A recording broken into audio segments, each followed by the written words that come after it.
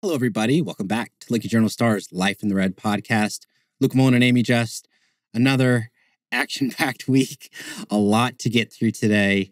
Uh, major, major news, of course. When we came on last week, we were in the midst of uncertainty about Trev Alberts' status. Well, today we'll get into all that, um, unpack kind of what, what we've learned in the last few days, and of course, look ahead to NCAA tournament action. That is the headline of this week two teams in the NCAA tournament for Nebraska. Really incredible. And they're playing the same school. yeah. That there's no there's no connections none, there to that None school. at all. That hasn't happened in over a decade where a men's team and a women's team from the same school end up playing the same school. Hasn't happened in a really long time. Yeah, really rare nationally. Um, for it to happen to Nebraska in these circumstances, um, very peculiar.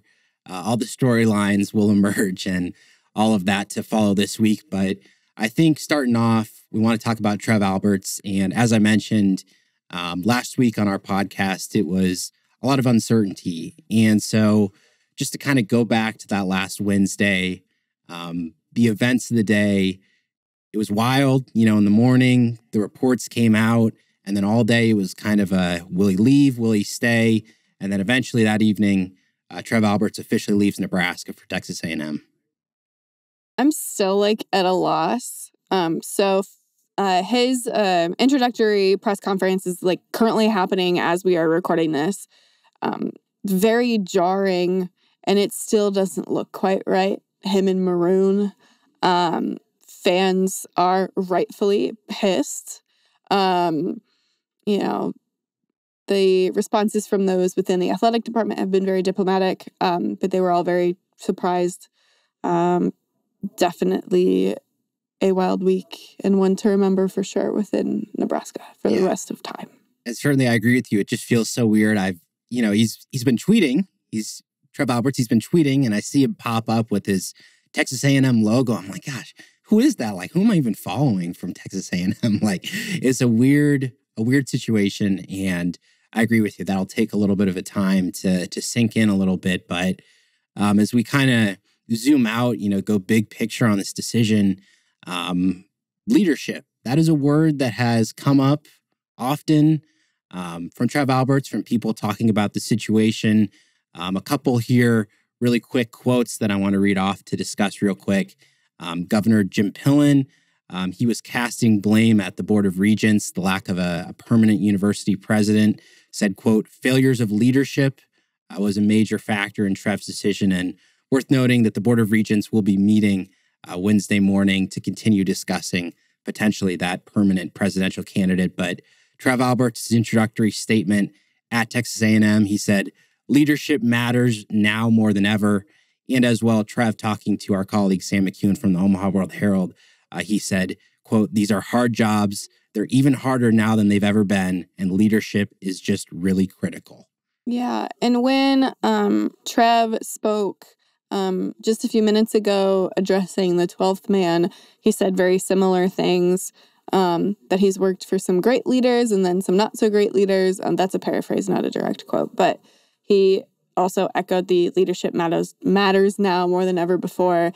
And I honestly lost track of how many times he, he said the word leader and leadership in his like opening remarks. Um, so that's definitely something that's front of mind for him as he makes this change. Yeah. And certainly there's been a, a big discussion, of course, here in Nebraska about that leadership, about what's going to happen uh, to this president role, this athletic director role. Well, for now, there's an interim AD in place, uh, Dennis LeBlanc, who is Nebraska's executive associate athletic director for academics. And regardless of sport, it seems like every coach, every athlete has had a positive run in with Dennis. That's what we've heard um, not just this week, but of course, you know, in the past too. He's a very, very well respected um, and veteran figure in that athletic department. Yeah, he. I don't think it would be a stretch to say that he is the longest tenured or among the longest tenured people in that area of the athletic department. Um, brings a ton of stability, a ton of connections. Uh, there's a lot of respect there. Um, it, I mean, Matt said today that he, he has saved lives mm-hmm. changed lives with the work that he's done, um, helping people finish their degrees, um, getting their life on track um, in that regard. Um, and no one that I can see has ever said a bad word about him. Yeah. I mean, you look at the success that Nebraska has in terms of academic All Americans. I mean, that's him, that's his staff that have done a great job of setting that up. And from a you know administrative standpoint too, I mean, he's exactly who you want: somebody visible, uh, somebody who people know, who you might not feel like, hey, the sky's falling. Uh, if this guy's in charge, he's able to see uh, Nebraska through this transition. And who knows, you know, ultimately how long it'll take to get that permanent athletic director position filled. But what we do know is some of the reaction that we've heard from coaches around the university, um, Amy Williams and Fred Hoiberg, in very similar circumstance. Their teams in the midst of great, great seasons, NCAA tournament runs, um, and both of them kind of not not to say that this athletic director decision is overshadowed, but it's certainly taken a little bit of the attention away from them. And they've been very, very focused, saying, "Hey, we're gonna we're gonna focus on the basketball here." Yeah, yeah, absolutely. They they both wished him well, and they're like, "We have a we have a job to do right now." Yeah. And granted, Fred's comment on that came before the news of Selection Sunday. Yes, certainly. And um, also worth talking about here, we uh, we heard from football head coach Matt Rhule today.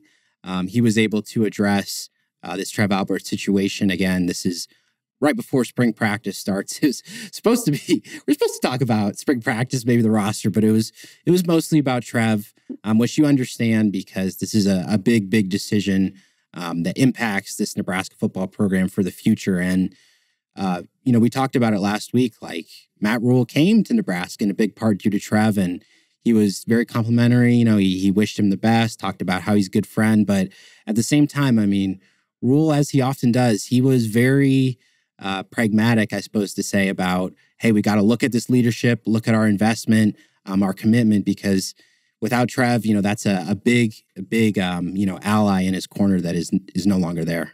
Yeah, and for people who kind of want to know how the sausage is made, this press conference was called before anything happened with Trev. So this was not like an emergency, let's talk about spring press conference. Like this was scheduled like a few days before Trev left. So for those who wanted to know how that works. Um, but yeah, no, definitely takes the shine away a little bit from spring football because most of what he talked about today was like big picture stuff. Obviously, there were some nitty gritty details about like the freshman quarterbacks and stuff like that, but this was definitely more of a big picture, big idea, uh, you know, preaching session uh, mm-hmm. rather than um, an update ahead of spring football. Yeah, and just uh, a real, real quick quote. Want to read you from Rhule uh, from this one. He said, "We have to be unabashed in our desire to be the best." We cannot worry about optics. We cannot worry about what people say. The way to win in collegiate athletics today is to invest.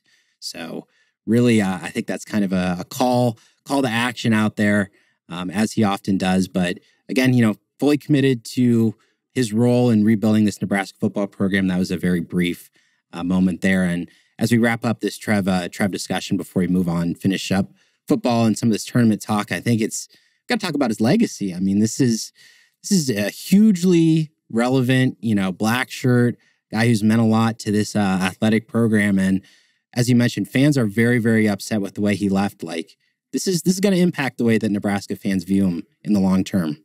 Oh yeah, without question. I think that it's not similar to the way things unraveled for Scott Frost, but at the same time, it is also similar because regardless of what was accomplished or was not accomplished, things ended poorly um, for both of them in terms of just how the exit happened. And I think that I don't I don't know if Trev is going to be welcomed around here for at least a while because the way that he left it just it didn't sit right with a lot of people and there were some who want his name off of Memorial Stadium. That's not going to happen. Yeah, I think I think that's a little bit of an overreaction. That's not going to happen. But, but you know, it's it's definitely it goes back to the point that I made, you know, a while ago with Frost, it's if you come back to your alma mater, what does that do for your legacy if things go south? And not that things went south for Trev publicly while he was here, but the exit, I think, has radically shifted how people feel about him. Um, not necessarily the things that he accomplished here, but just about him personally. Yeah, really good point. I think it's just fans want commitment and everything I think that that Trev did in terms of volleyball day in Nebraska, Memorial Stadium changes, you know, where Nebraska is in terms of this collegiate landscape. Like, I think it was really good forward thinking but you can't leave before the job is done. And that's exactly what he did. And that's why people are upset because you have this long term vision, you got to stick it through. And that's not that's not what happened. No, he yeah didn't even get to his three yeah, year three year anniversary. Nope. Some uh some sad sad times uh, for for fans who wanted to see Trev Alberts stick it through for the long run. But that is that situation.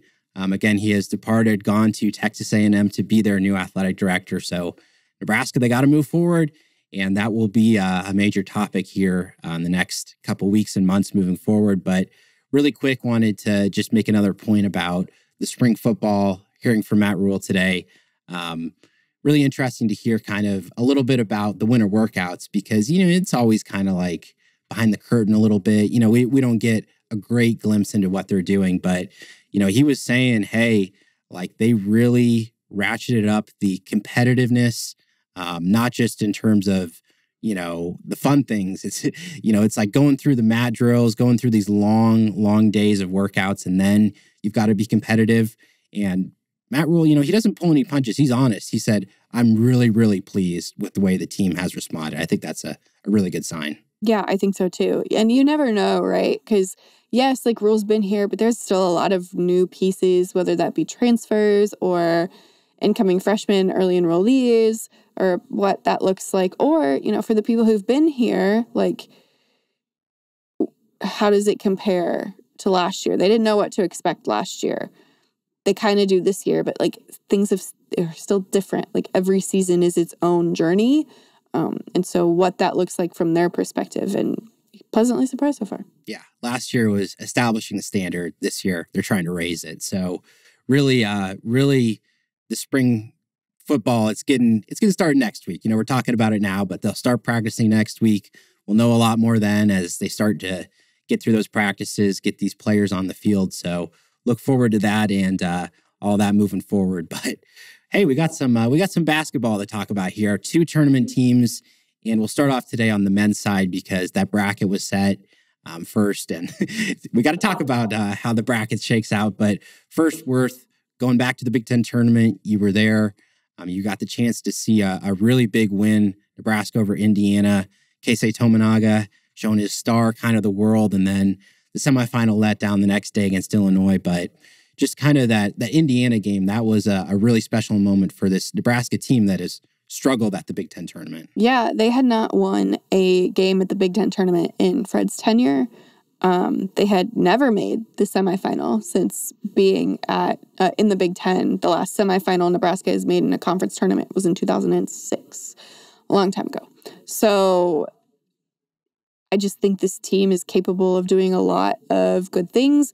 Granted, the Illinois game just gave you deja vu from some of the other letdowns in this season after they had such a strong first half and then things kind of unraveling there.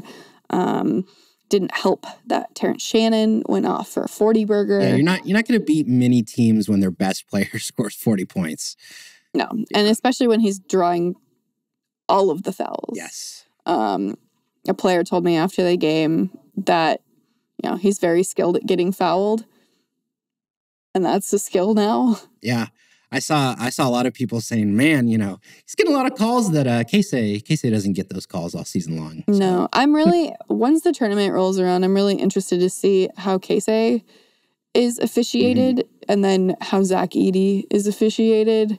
Um, obviously, two very different situations, but yeah, the officiating for Shannon, Tominaga, and Edey this year has been very bizarre. Yep, all over the place a little bit. Um, and certainly this uh, that Illinois game, I mean, Nebraska started off so great. I mean, it was a fantastic first half. They scored 51, uh, but then, you know, scored 36 in the second, slowed down there, but then 58 second half points for Illinois. That was just way too much. And, you know, I, I think a little bit of the perspective here is yes, I mean, could have gone to the Big Ten tournament final, could have had all that joy that came with it, but hey, Fred Hoiberg was brought in to, to win an NCAA tournament game, not necessarily to win the Big Ten. Yeah. And, but, you know, it helps prepare you for that, yeah. right? Like the Big Ten tournament, like how it's set up, much harder than the NCAA tournament. You don't have to play every day. You don't have to, you know, go play like an 8:30 p.m. game and then turn it around and play at 2:30. Like that's not happening there. So yeah, it prepares you um, for what you um, not could expect because they don't do it that way, but just the level of intensity and having to, you know, burn the candle at both ends and just be ready for anything and stay on your A game despite, you know, having a full season behind you. And yeah, you're tired and yeah, you're hurt, but you want to go for glory. And it's all of those things. And I think what they were able to do um, and this is applicable for both the men and the women. Um, what they were able to do at the Big Ten tournament helped set them up for success um, this upcoming week. Yeah, and still a, a, very enjoyable run for the fans to follow. I think they were just disappointed. You know, you didn't get yeah. at least one more game out of it. So yeah. uh, that was how the the men closed uh, the Big Ten tournament, and of course, NCAA tournament seedings came out uh, the very next day. In Nebraska officially in the field, first NCAA tournament appearance since 2014. We knew it was happening, but credit to Fred Hoiberg for everything he did to assemble this roster and then the players for how they've come together this season. Oh yeah, absolutely. You you know, around the country there was not much hope for them to continue to clear the bar. Um preseason number 12, and then they finished number 3, which is wild. Yeah. And incredible and just knowing that they didn't have a first team all Big 10 player and you know the coaches considered Keisei second team, but not the media. Like the the perception around this team is that they just were going to be okay again. Yeah, and then they went out and did some really special things this season. Yep, took down a number one team. Uh, really, really incredible home record as well. Uh, but now it's it's to that time of the year where all the accomplishments, everything you had before it, it kind of fades away a little bit because it's all about the next game, the biggest game of the season ahead of it. Nebraska, the number eight seed in the South region, they will be going up against number nine seed Texas A&M, 5:30, 5:50 p.m. on Friday. Yep, Texas A&M. How did that happen? The committee has a sense of humor. Um, there are people on the committee with ties to Nebraska, ties to Texas A&M. Um, Barry Collier is on the committee. Yep. Like, you know, like for people to think, oh, you know, haha. No, it this is not lost on them at all. They are very well aware of what they did. Yeah, they they understood the storylines uh, that would follow in that matchup, and they seeded it away anyway. And um, Texas A&M, you know, from a basketball standpoint, it's a it's a very interesting opponent for Nebraska because this A&M team. Uh, they had a, a, long, you know, five game losing streak in February. We're really struggling to score the basketball, but They've really turned it around these last couple of weeks, went on a big run in the SEC tournament, nearly went all the way. And when you look at their strengths as a team, it's it's rebounding, it's physicality, it's some of the toughness that Nebraska likes to do too. Yeah, and Texas A&M is not just one of the best offensive rebounding teams in the country. No, they are the best offensive rebounding team in the country. The best. And it's like not even close between them and like the number 2 team. Like it's wild. So that's definitely going to be a point of emphasis for Nebraska this week to focus on getting those rebounds. You cannot be lazy on those possessions because Texas A&M will bite you. A good thing for Nebraska is that Texas A&M does not defend the 3 very well. They also don't shoot the 3 very well. They are one of the worst teams not just in the Power 5, they are one of the worst teams in all of Division 1 in three point shooting. So this game is going to come down to offensive rebounding for Texas A&M versus can Nebraska shoot from outside the arc. If they can, I don't think it'll be super close. If they can't, might be ugly. And with that three point shooting, I mean, how big is it going to be to have CJ Wilcher? Because Oh Nebraska goodness. really missed him They- in that game. They needed him in so many ways against Illinois. Like even if he didn't have the most product he productive game, like they needed just him. Period. Yeah. Um, they had an incredibly short bench. They played a set. They, the goal was to play through a seven rotation. Um, and then when you have Josiah Allick uh, get his second, and then also bang knees with Terrence Shannon and like need to get that checked out, you have Rienk get two quick fouls. What do you do? You go to a true freshman who hasn't played much all season. And you know what? He held his own. You know, good for Matar. That was, you know, was he exploited on a few things? Yes. But he did his job. He did not get into foul trouble. And heck, he he made one of the most wild shots I have seen just like this season. Um, just a pull up mid range jumper dribbling between his legs. Like, okay, Matar. Um, and to quote Sam Hoiberg, I have never seen him do that before. Big emphasis on the never, not even in practice.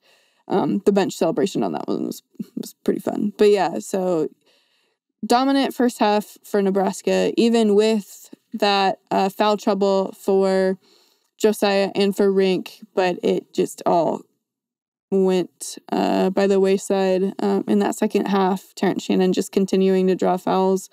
Um, Juwan Gary fouled out pretty early. He was beside himself when that Yeah, happened pretty upset. and Yep. they, they needed CJ just for to have that extra person, to have like a veteran leader out there. Um, they they just needed him, and so he was at the selection yesterday. Looked to be okay, so that's that's good. But yeah, when you don't have him as a late scratch, not great. yeah, in terms of spacing, the different offensive Mhm. sets, they need him out there as that three point shooter, and get the feeling he's going to be he's going to be certainly an X factor uh, in this game against Texas A and M, and the way the bracket sets up, the number one seed uh, uh, potentially awaiting that winner, that is number one seeded Houston. And to get there, of course, I don't think anybody needs reminding. That'd be historic for Nebraska just to win that first game, finally get it, get it ticked off, and get that off their back. That's uh, that's the goal that everybody's looking towards. It's unbelievable that this is Nebraska's eighth NCAA tournament ever for the men, and they've never ever won a game at, on that stage. But this team has a very good shot at getting it done. If there's a team that could do it, it's this one. Yes, most certainly. So that is how the bracket shakes out and how it sets up for the Nebraska men's team. As for the women, uh, guess what? They're also playing Texas A&M on Friday night. That is going to be played 9:30 p.m. Nebraska, the number six seed, they will face number 11 seed at Texas A&M. What are the chances of it happening twice? Again, the committee.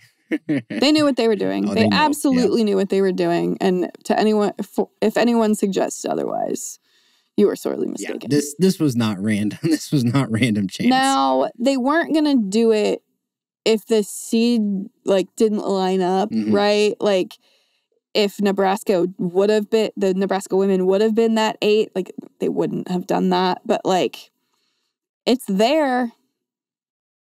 it was there and they they seeded it so and it, it was interesting too because we were talking about the ncaa tournament projections and a six was not out of the realm of possibility but seven or eight the, that seemed to be what a lot of different projections um, had nebraska at but i think ultimately the, the strength of their schedule some of those uh, big wins that they got certainly bumped them up to the six and that's that feels that still feels very fair with the season that they had Yeah, uh, beating Iowa and then taking Iowa to overtime in their fourth game of the Big Ten Yeah. tournament. Like uh, you can't discredit what an accomplishment that is. Um, I do think that loss to Rutgers, that inexplicable loss to Rutgers, um, dropped them from where they could have been, um, even higher. But yeah, they deserve to be that six. Yeah. So that was the seeding, and in terms of this Texas A&M opponent, uh, a little bit different season uh, trajectory to get here. stormed through their non-conference schedule, um, but took some lumps in a very very tough SEC um, this season and lost six of their last eight games entering the NCAA tournament, which is kind of interesting because the Nebraska women, on the other hand, are playing their best basketball right now. Yeah, I am of the opinion that the game that Nebraska played against Iowa in the Big Ten tournament championship game was their best game of the season. Mm-hmm. And it, they happened to lose. Like, I don't think they lost that game. I think Iowa won that game. Um, it just, they played so well. They held Caitlin Clark, of all people, to the worst halves, not just of her season, but of her entire career. And if you can do that, that makes you incredibly dangerous. Um, it would not surprise me if they get out of the second weekend. It, or not out of the second week, excuse yeah. me. That would be nuts. Um, out of the first weekend. Um, I just think that they have a really favorable matchup, potential draws that they that they could make it to Albany.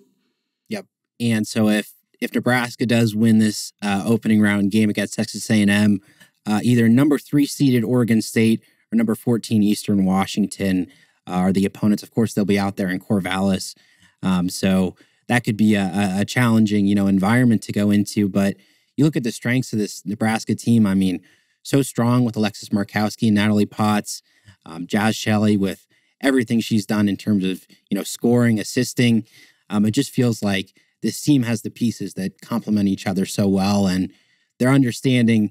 You know, at least from what we've seen these last couple weeks, you you got to feel that they're going to come into this NCAA tournament uh, very, very aligned with each other and everything. Yeah, and they're rested, right? Yeah, Which also point. helps, yeah. right? You don't want too much rest to where you're rusty, but they're playing their best basketball right now, and I think they are capable of doing some very spe- special things. Yes, it, it is certainly shaping up uh, for a lot of excitement for that Husker women's team as well. And again, they will get started 9:30 p.m. a late one Friday night uh, out there on the West Coast. So make sure to to stay up after that uh, that men's game earlier in the day. And real quick before we get out of here, uh, move on to some updates. Baseball and softball, of course, going through some of their weekend non-conference series. Um, the baseball team, man, they continue to win games. They are now 13 and 5 on the year after a three game sweep of Nicholls. And the offense, wow, those bats were showing up. Josh Caron drove in five runs in a 7 6 win on Friday. Will Walsh then drove in five runs, uh, blowout 16 nothing win the next day. And then they scored a, 11 runs in the 11 4 series finale on Sunday. Really impressive. Football scores. yeah, no kidding. Like, what? Like, that's incredible um, what they were able to do this past week. Um, it'd be, it'd be kind of crazy if they continue to keep it up. Yeah, and I think uh, we we talk about the RPI every week. I think they're number one or number two. They are flying in terms of that uh, that you know different category. But you also look at the pitching too, and I mentioned the bats were good, but Brett Sears he continues to be phenomenal. Uh, six scoreless innings in that Saturday win. The bullpen was really great in that Sunday win as well. So a lot of different factors going well for this Nebraska baseball team right now. And if you want to get a look at them, they have five home games uh, this week here in Lincoln. We'll play Omaha and North Dakota State uh, during those midweek games, Tuesday and Wednesday, and then New Mexico State coming to town for three on the weekend. Yeah, might as well. I don't know what the weather's supposed to be like here. Yeah, you might you might be focusing on something else though. oh, I, am talking about for the listeners. Yes, you know, in between yep, March yep. Madness, get get involved with another bit of right. March Madness in a different sport. See if enough, those bats continue to stay as hot as they are. Not enough screens. I'll tell you what. I will be. uh I'll be I'll be checking out softball. I'll be at Bowlin Stadium, but I'm gonna I'm gonna need to have that the different basketball going uh, because it is a also going to be a big weekend for this Nebraska softball team. Um, especially they have gotten back to winning ways. So crucial. Uh, just won five of their last six games at home. Five game winning streak as well. Really, uh, really good to see considering the up and down start to the year that they had. And these wins very similar to the baseball team. The Bats, the Bats have been going 10 nothing win over win, over Maine. Uh, they had back to back walk off wins. Big win over Creighton, big win over Northern Colorado. Average about 10 runs a game over this winning streak. Really, really impressive. When the bats are hot, anything is possible. Yeah, and that's that's kind of been the the season story. I think for the softball team is, I think they score five or six runs. I think their their record is is phenomenal, and they score two or three runs, and it's tough. So, um, especially this weekend, player to keep your eye on, Billie Andrews, uh, who's having a phenomenal, phenomenal year for the softball team. She's now tied for the program record for career home runs, 54 home runs in her career, and a very, very good chance to break it this week. She has uh, 11 home runs, or 10 or 11, excuse me, this season, uh, which puts her in the top five nationally. And she missed a few games too. I mean, she's been hitting home runs at an incredible rate. Yeah, I really wish I could uh like try to watch like all of the Yeah. things this weekend between, you know, actually being present in Memphis for the men, watching the women's tournament. Oh, it's also uh, NCAA uh, tournament time for wrestling. Nebraska's sending nine of their 10 uh, there. Want to be able to watch that. Want to be able to watch Billie Andrews make history. Like, what a amazing weekend this could shape up to be for Nebraska athletics. yeah, a crazy, amazing week. A lot going on, all these different sports, and uh, the schedule for the softball team. They will face Omaha on Wednesday, and then Big Ten play begins. They're they're facing Illinois. How Yep, how are we there yet? it's here mid uh, mid March. Yep, three games against Illinois. Uh, going to be really important for that softball team as well. So, yep, that's uh that's a lot of athletics going on. And as always, uh, make sure to stay tuned. Journalstar.com. Amie, you'll be there in Memphis. You'll be following the women's team too. I'll be at softball. Be football coverage this week. Brent, Pro our- day. Yep. Our Brent Wagner, he'll be there with the women's team, following along with them. So much good content, so much good uh, athletic events to to stay tuned to this week. So, as always, we appreciate all of you listeners and viewers for coming to us for your update. And Life in the Red podcast. We'll be back at you next week with NCAA tournament action. We'll see you then.